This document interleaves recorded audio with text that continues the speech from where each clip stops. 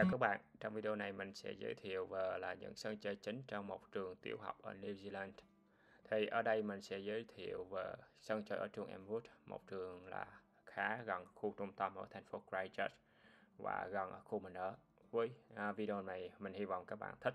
Nếu các bạn thích thì nhớ đăng ký kênh, chia sẻ cho mọi người để được xem nhiều video về cuộc sống New Zealand và mình sẽ bắt đầu từ những cái cổng nhỏ và cổng lớn như thế nào. Các bạn theo dõi video. Trường thì nó có những cái cổng lớn. Cổng lớn đằng trước thì có thể xe chạy được. Còn những cái cổng nhỏ này, bạn thấy là cái cổng nhỏ này nè. Thì phụ huynh có thể ra, hoặc là trong hợp là học sinh có thể đi tắt vào trong lúc giờ, vào nhưng mà trong cái lúc giờ than học, hoặc là giờ vào lớp mà có cổng đưa rước thì đằng xa xa kia là nó có cái cổng đó. Mình zoom lên cho mọi người thấy nha. Mình hy vọng là mọi người thấy được chỗ đó tí nữa mình sẽ đi về bằng cái cổng đó để mọi người thấy. Bây giờ mình sẽ đi vào bên trong trường. Thường thường ở đây nó một cái khó nhưng mà cái khó này bị hư rồi mình đẩy vào thẳng luôn. À, cái chốt khó bị hư mình quay lại mọi người thấy nè. Ừ, học sinh sinh phụ huynh đi ra đây là nó có một cái bảng stop là bảo mọi người là đi ờ, ra đây phải dừng lại nhìn xe trước sau ha. Còn thường thường cái cổng này luôn đóng này có chữ là please shut the gate tức là giữ cái cửa luôn đóng trong trường này thì nó có rất là nhiều loài hoa. Ví dụ đây nó có một số loài hoa giống như lan huệ ở nhà ha.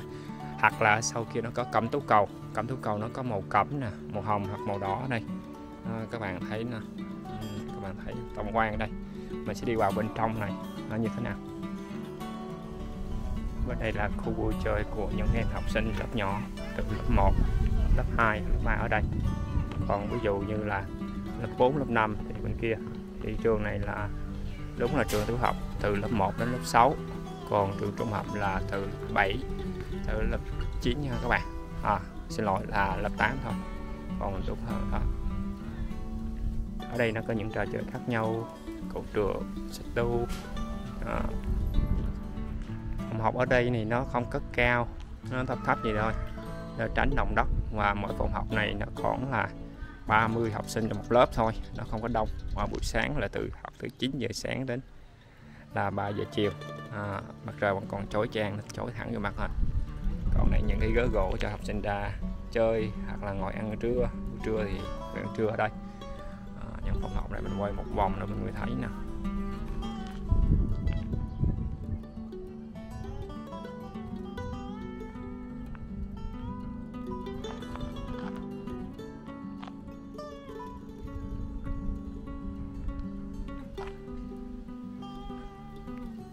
Này ở cái sân chơi à, cho dành cho các em nhỏ thì mình không thể quay được tại vì có một số người à, ở đây nó có một số cái thanh gỗ để các em có thể là leo lên à, ở đằng xa xa này các em có thể truyền qua hoặc là đi qua những cái cầu dây bằng gỗ này hoặc là các em có thể chơi trò chất tê đằng kia có những cái là thằng dây hoặc những cái thanh đu này cái thanh đu mình lại gần hơn nè.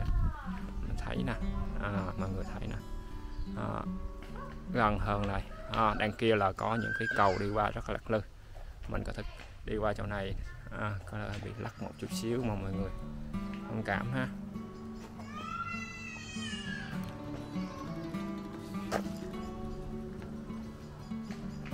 Uhm, đây là cái cầu là các em có thể bước qua đó. Hoặc là cái cầu gỗ có hai tay cầm đằng xa kia. Mọi người có thể thấy ở đằng này. Nó có cầu gỗ có hai tay cầm ở trên cao này rất là thích. Hoặc là song song đó nó có cầu trượt. Cầu trượt mình đã leo lên các em có thể leo thang dây này nhé. Hoặc là leo bằng cái thang bằng màu xanh vòng véo này kia. À, ở đây có một cái đường thang dây đi qua đây nữa. Mình hy vọng là mọi người thấy đây. Song song bên kia thì nó có những cái đường cầu gỗ đi qua ví dụ các em vừa có thể là đu ngang chỗ này đu cái hàng tay này qua xong. Rồi các em thể chạy qua kia và tiếp tục qua cái cầu này. Và các em thở là đu một cái loại thang tay khác à, một cái thanh sắt ở trên và có một tay cầm dưới mình quay từ từ để mọi người thấy nè. Đó, cái tay cầm này mọi người thấy nè. Mình sẽ đi lại một vòng chút xíu ha à, tay cầm đó. Rồi trên tường này à, có là luyện để các em là leo tường như thế nào? Mọi người có thể thấy là việc leo tường như thế nào đây? À, những cái thanh để mình tập các em từ nhỏ đã leo tường. Mình đi tiếp một tí nữa là với sau á. Nó sẽ có hồ bơi. Hồ bơi thì phụ huynh học sinh có thể là mua thẻ đầu vào trong dịp mùa hè này. Còn trường hợp mùa đông thì hồ bơi đóng cửa. À, tại vì hồ bơi nó được là phụ huynh có thể mua thẻ nên là muốn mua vé cái trong dịp mùa hè này phụ huynh phải đi một cái lớp huấn luyện để làm sao sử dụng hồ bơi. Sau khi sử dụng hồ bơi phải đầy lên như thế nào mình zoom lên mọi người thấy nữa. Nè.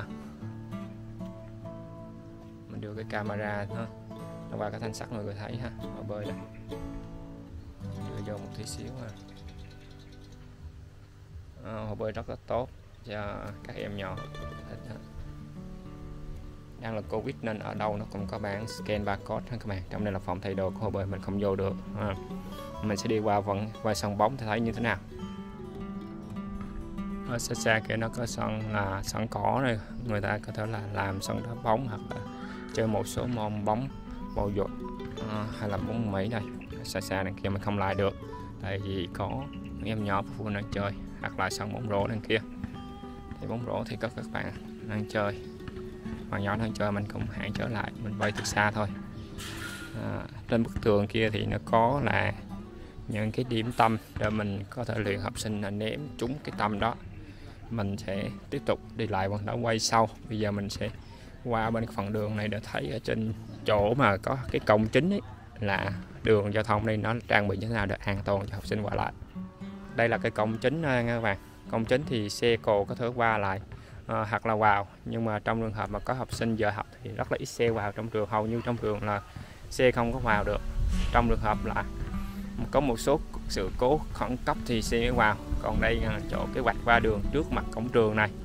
Cổng trường này là trường Emwood à, à, mình sẽ coi các bạn tên trường Emwood nha các bạn. Đó đó đó. Đây là các bạn tên trường Emwood đây. Đó đó. Thì um, rồi. Ở đây mình sẽ thấy là trước mặt cái ngang này là ngã ba đường. À, phụ huynh học sinh hoặc là em các em học sinh mà qua mà từ khoảng là từ 8 rưỡi đến là 9 giờ kém 5 á. Tại vì từ 8 rưỡi là các em làm nhiệm vụ là đưa là có một cái thanh barrier hai bên này. Đỡ mình là ngăn và coi xe cộ à, stop xe cộ hai bên đỡ các em à, có thể băng qua đường an toàn. Ở đây người ta làm cái vạch đỏ sơn đầy đường này đường là đỡ tất cả các phương tiện giao thông đi qua này là chú ý. Chỗ này là có trẻ em. Và các bạn thấy là vị trí bên này tại vì bên New Zealand này họ đi xe bên trái nên là chỗ này là nó đi là xe tới đó khi mà các em đã đóng cái cổng này. Cổng hai cái vạch này nè mình coi nè. À, bên này bên phải mình và bên trái này. À, thì sau khi đóng thì những cái xe phải dừng ở sau cái vạch trắng này đây vạch trắng dưới đường đó. Tương tự bên tay phải nó cũng có cái vạch trắng nha. Đó. Thì bên kia nó có vạch đỏ là rất là cẩn thận. À, mình sẽ đi vào bên trong thấy chỗ những sân chơi khác như thế nào.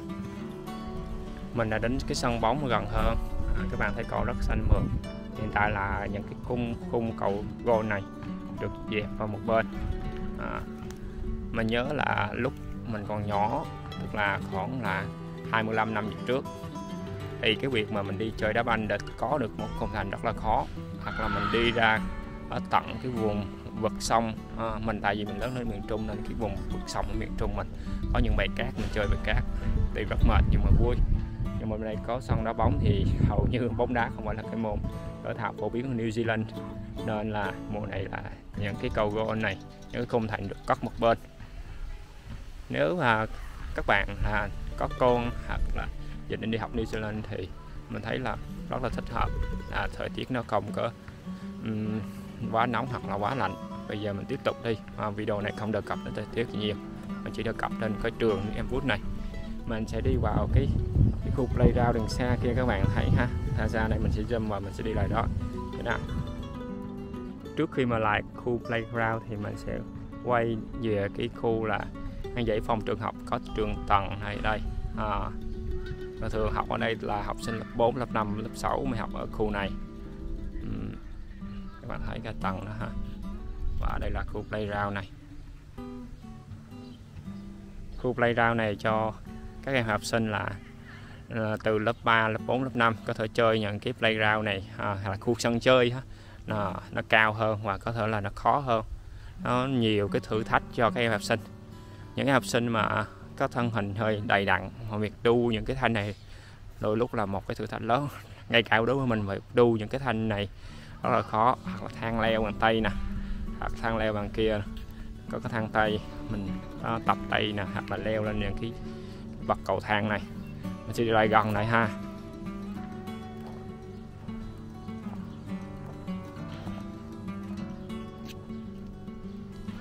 À, đó cái thang dây à, leo bằng tay đây. À, thang, đang leo dây ở đằng xa kia các bạn thấy đây. À, các em leo lên đây có thể là leo bằng cái hướng ở thang này các em leo bằng dây lên nhé à, sau đó các em cần tu thả cái trụ từ trên cao đu xuống cho mình thấy ha à, có thể leo bằng sợi dây xích. Hai bên sợi xích hồi xưa ban đầu thì nó có cái dây bao giống như bên phải nè nhưng mà nó, nó mòn lắm.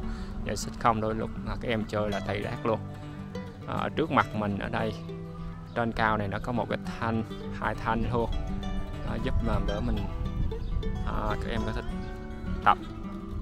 À, mà đưa hai cái tay hai bên và theo cái thanh sắc đó tay. Hoặc là ở phía dưới kia mọi người có thể thấy là những cái sợi dây cột những cái vật cứng bên dưới. Và các em có thể là đứng lên cái đó đu qua. Xa xa ha. Xa xa đằng kia mình đi lại gần ha. Xa xa này nó có là có thể là đu dạng là hít xà đơn ở đây? Đây. À, tiếp tục bên phải mình này là mình thấy là nó có thể là à, giúp các em đu hai cái tay lên đây. Ừ, đu qua lắc qua lắc lại rất là vui rất là thích. Các bạn nhỏ nhà mình cũng rất là thích đu việc đó. À, bên này có thanh gỗ đó các em lá leo thanh gỗ này lên cái chỗ chơi đó. Rất là nhiều trò chơi rất là xấu à, mình ước gì mình được à, còn là trẻ em để mình chơi những trò này nhưng mà rất tiếc mình đã lớn rồi. À, các em sau khi mà leo xong á các em có thể là lên đây và được xuống hai cái thành sắt này rất là thú, thú hoặc là xa xa đằng kia mọi người thấy nha. Chỗ này là cái trò chơi mà giống như là mình ngồi lên đó hoặc mình đứng lên đó mình có thể quay cái thanh bàn tay lên này mình đi gần lại gần hơn các bạn.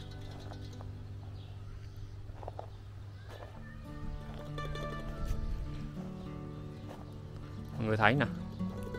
À, ở trên là có thanh quay cho hai tay mình đứng lên là mình quay. Mình ngồi lên đây.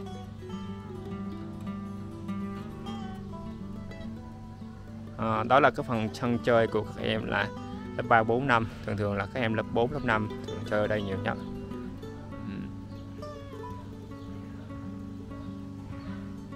Bây giờ mình sẽ đi qua cái phần sân chơi của các em lớn hơn, có nhiều thử thách hơn nhé. Rồi các bạn tiếp tục theo dõi video để thấy được cái sân chơi lớn hơn nó sẽ như thế nào. Sau khi đi một hồi thì mình sẽ đến cái phần trận chơi cho các em lớn hơn.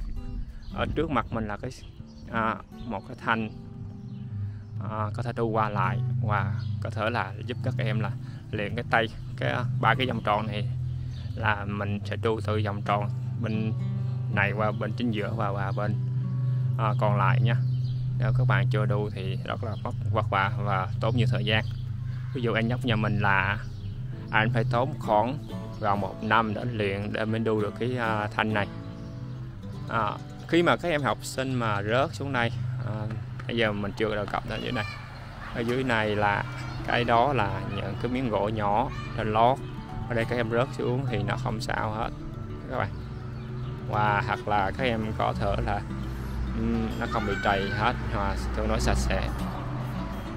Mình sẽ đi tiếp tới một cái trò chơi khác của cái phần sân chơi cho các em à, lớn hơn ở đây. À, đây là cái sân chơi cho các em lớn hơn. À, đó là cái thang tay mà nó dài hơn. Và đỡ việc mà đu lên cái thang tay nó cũng thử thách hơn. Có một số em có thể là nhảy từ dưới nè. À, mình, à, và mình có thể nhảy lên. À, nó rất là cao. Ví dụ mình đây ha. Mình có thể là dối cái tay của mình lên luôn nha. Mới tới nha các bạn. Đó thì nó dối lên là câu 2 mét 2 thì đối với học sinh thì mấy em có thể là bằng cách là leo vào bìa bên cạnh hoặc có thể là trường cái thân người đó, đó. Đây là cái khu trò chơi cho các em học sinh lớn hơn là năm lớp 6 thôi thử thách hơn. Xa xa đằng kia là có cái sân chơi cho leo lên cái tường gỗ đó. Thì các em có thể là thích thú lên đó.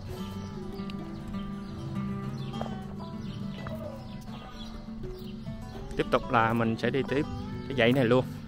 Thì ở xa xa này kia là cái cái dây leo đu tay đó là thử thách và nó có vẻ là rộng hơn. Các em có thể chơi, nhiều bạn sẽ thi nhau cùng một lúc.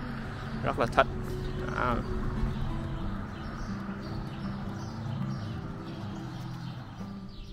À, cảm ơn các bạn đã theo dõi video. Mình hy vọng video này mình các bạn có thấy được một cái trường học ở New Zealand này. À, đó là một trường tiểu học nó có những sân chơi như thế nào ngoài xung quanh trường nó như thế nào vào dịp mùa hè.